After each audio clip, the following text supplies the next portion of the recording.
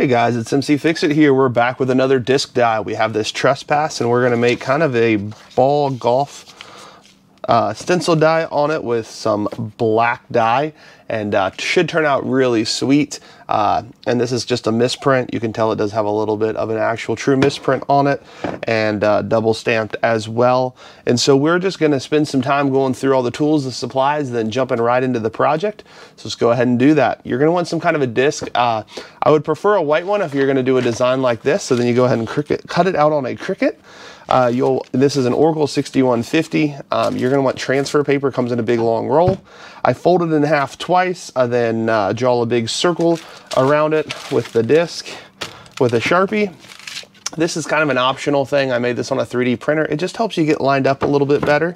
Um, and so you can have one of those if you want. You can find it on Thingiverse. Um, we're gonna use acetone. Acetone will help remove the stamp. Wear gloves when using acetone. Dawn dish soap and water helps clean up the dish. The disc, that's easy for me to say, uh, butane torch. And so it's got a little packet in there. You use half of the packet and put it in a water only, no acetone needed. Um, and then we have a pan, just a used pan. I actually haven't cleaned it out since the last time I used it because I had black with it. Uh, then we have a electric burner. Um, and this is what it comes in. Uh, I got it on Amazon for relatively cheap. Uh, works really well. You don't even have to turn it up very high. Um, I use a heat gun, only put it on setting number one. Sometimes you'll want a ruler, uh, a funnel for your black dye. You're going to need a pick and a scraper tool for sure. Um, you'll probably want a Sharpie as well. Sometimes you have errors and you gotta have some kind of like an X-Acto knife to cut pair of scissors also help. We'll probably actually use that when we're pulling some of this up. And so that's all the tools and the supplies. Let's go ahead and set up our station. So we are ready to rock and roll. Uh, we're gonna go ahead and put some gloves on, pour in the dye, uh, then we'll start weeding.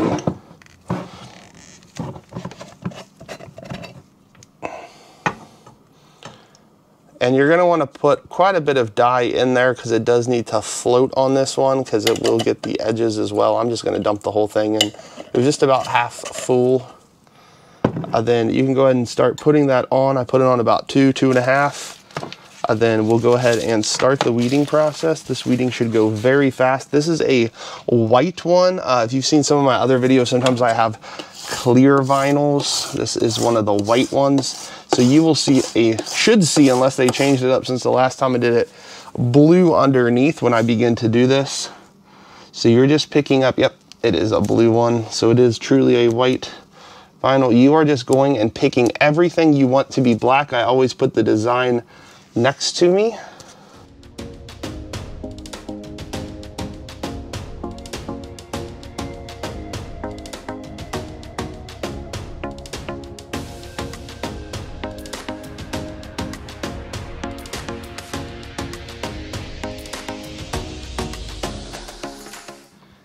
For some reason in my design, there's a little chunk that probably shouldn't be there. I don't know if I was trying to do something special and that happened. Um, but I like that right there. Another thing, I don't always do this. I am gonna just go ahead and cut this because the last couple of projects I've had, I've needed some extra vinyl. And so this will allow me to have a little bit of extra just on hand and that is going to be really close to uh, smoking over there. So continue to keep an eye on it, especially if you're doing this in real time with me. This is optional what I'm doing here, but uh, I always seem to need just a little chunk for different things. And sometimes when you're doing multiple colors, you can line them up on top of each other. Oh, I just threw the acetone container off the top of it. So we'll go ahead, pull that off, and we're going to line it up the very best that we can.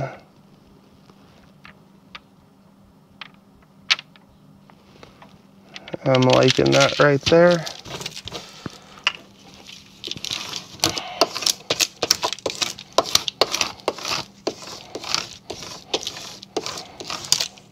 So I'm just gonna set that back on there for one second because I probably should have done this earlier. And I don't even know if I said you need paper towels. You're gonna need a ton of paper towels for this project. If I forgot to say that, I apologize. I normally have some laying out and remember to say it.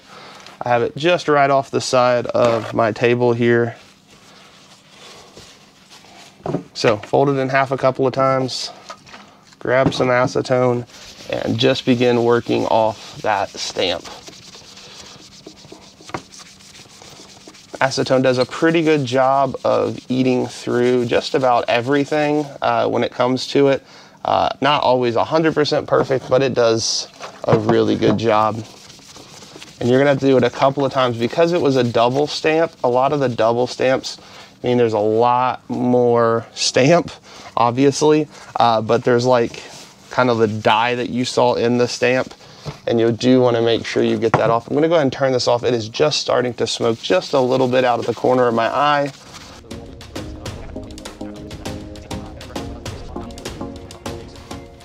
So now it's time to line her up.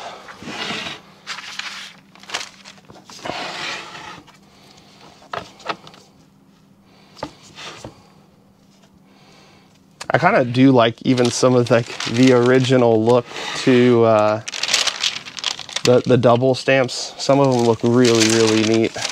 I'm gonna start on this side just because there's more to grab onto.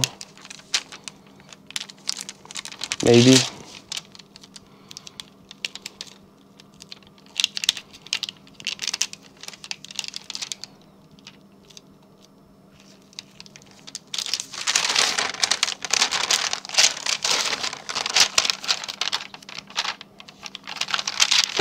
I'm gonna spend a few more seconds really pushing it in.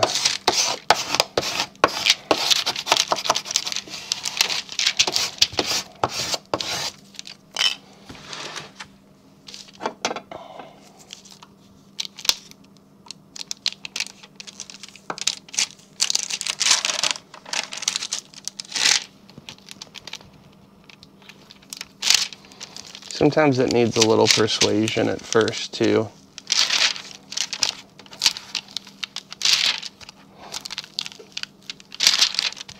So just go slow when you're doing this. There is a lot of design parts on this. And you want to make sure all those little pieces actually go down.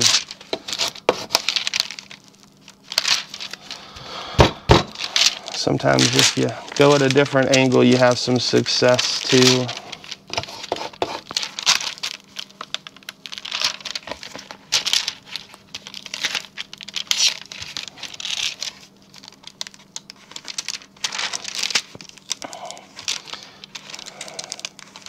And this transfer paper has been used numerous times and sometimes when it's been used a lot, it, it loses some of its stickiness.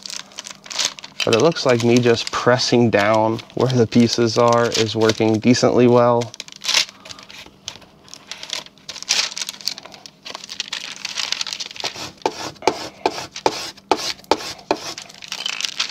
So I'll probably soon, well, that one just came back up, and that was one of the first ones.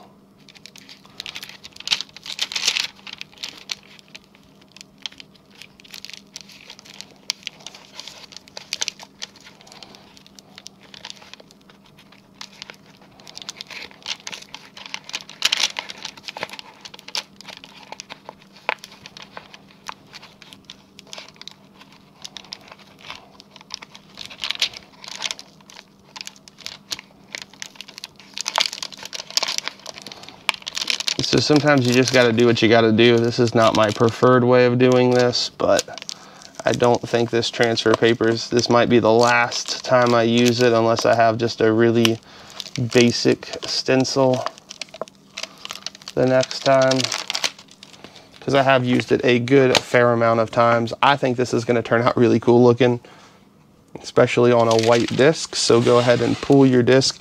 This is off center, I know a little bit, but I need to be able to look and uh, kind of get a good view on it. Just to help align it up nice and good. I'm liking that right there.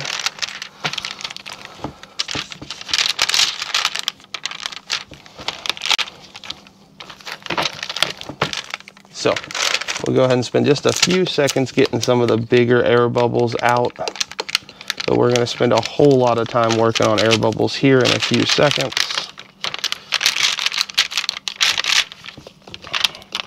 And getting this to do exactly kind of what we want it to do. Now this will be pretty sticky, that, and so it should come up a lot better than the last one if you actually press the items down on it.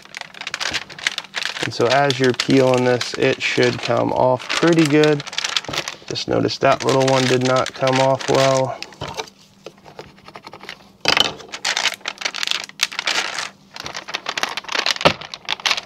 Gonna go ahead and remove it off of here. Sometimes having a little bit of pressure helps.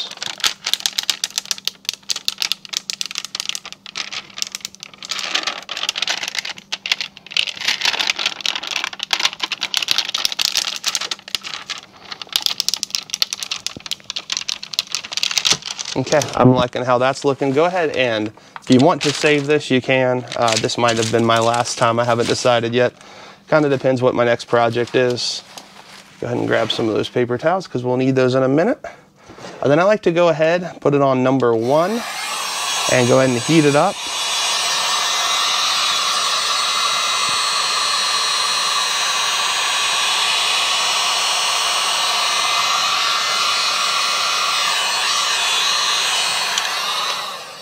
So now we're gonna spend some quality time pressing this thing in. A lot of times I go ahead and just take off my glove because my hands are gonna be pretty warm at this point. Um, I am gonna just peel this one up and redo this one. Oh, don't do it like that. That was even worse than it was the first time. Now I wouldn't do that for a lot of them, but that one was just a little piece. So the main thing you're trying to do, I don't care about air bubbles in the middle. I only care about air bubbles next to uh, the edges. So a lot of times I will not care if there is an air bubble that's kind of in the middle of my design. That does not bother me at all. It's only those on the edge.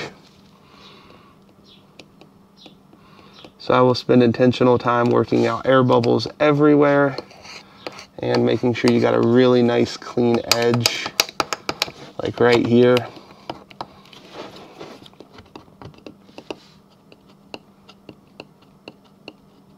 And sometimes it's helpful to push it away from the edge too. Um, I know that sounds kind of strange, but uh, sometimes you can get away with just pushing it away from the edge instead of to the edge.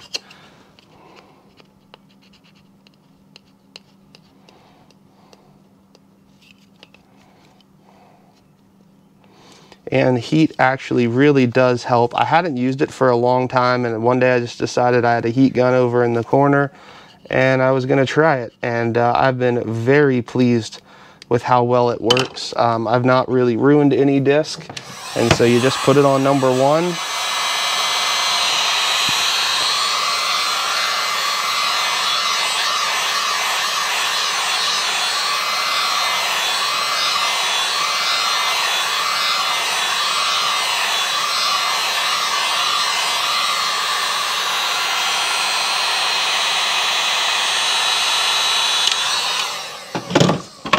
it just does a really good job of helping everything seal properly.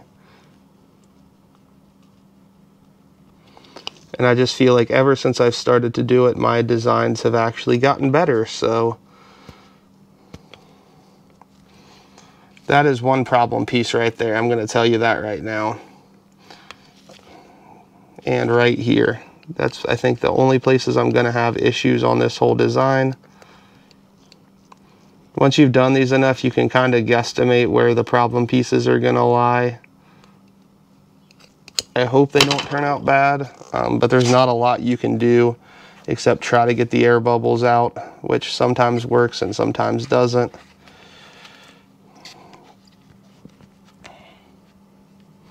The other thing I would caution you on is pushing too hard. Um, you actually can, can mess it up pretty good by putting too much pressure on it. And so if you're putting too much pressure, you definitely can ruin your, your potential beautiful disc dye. So don't, don't ruin it by doing that.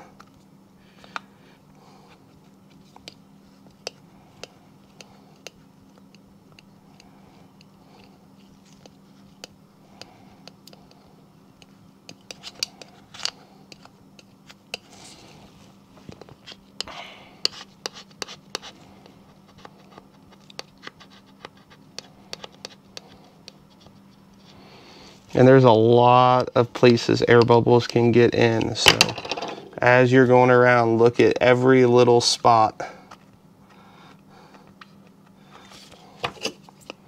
Because I thought I got all these up here and I just looked and almost every one of them had an air bubble in it. So, you know, take your time. This can take 10 minutes or longer sometimes just getting air bubbles out.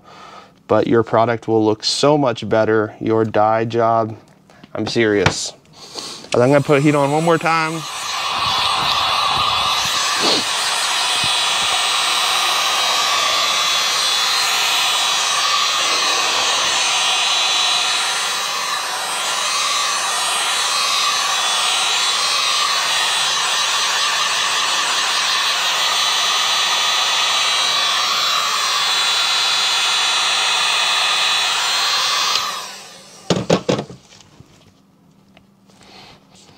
So once you feel like you're all done, go ahead and give it one last look over. I know that sounds silly, but it's better to find that one last air bubble. So there's a potential of three places I see one, two, three that may not come out perfect, but uh, it's gonna be good enough. So when I set this down, before I put it in, I'm actually gonna use my blowtorch and pop any air bubbles on top.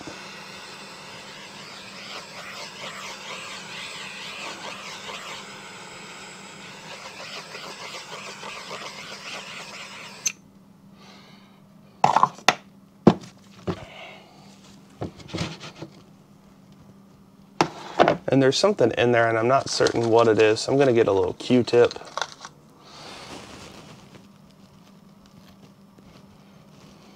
And just kind of push it up on the edge. That way it doesn't affect my dye.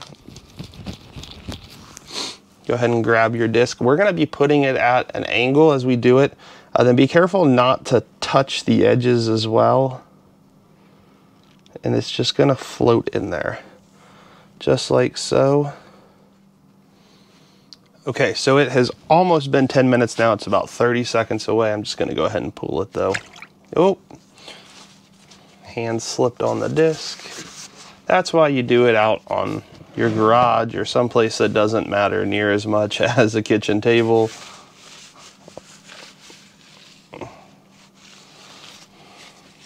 So yeah, it does look like where I thought it might mess up. We'll have to see. I think it did mess it up though, but that's okay. That happens a lot when you're doing disc dyes. It is not a perfect science.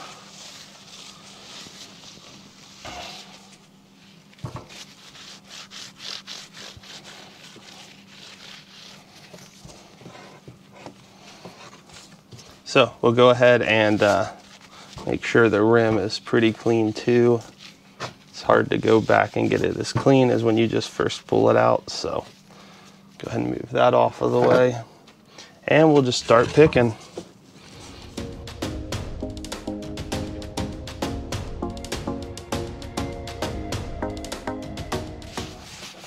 And we'll just clean up the disc one last time. And I do like to take this into my sink and uh, clean it off but I think that turned out really, really neat. Thank you guys so much for watching. If you do have any comments, put them down in the comment section below. Hope you have a great day.